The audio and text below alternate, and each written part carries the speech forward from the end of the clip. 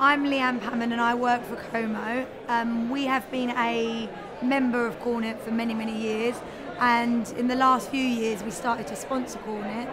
Um, the reason being is because we believe it's a great opportunity to meet people, see clients, and actually what you get with a sponsorship is above and beyond many of the other um, networking groups out there. Um, currently, today we're sponsoring the drinks at the One Big Day. Um, we've previously sponsored the Christmas do and other things, but it's a good chance to get your name out there to people that may not know you um, in a very informal and friendly way.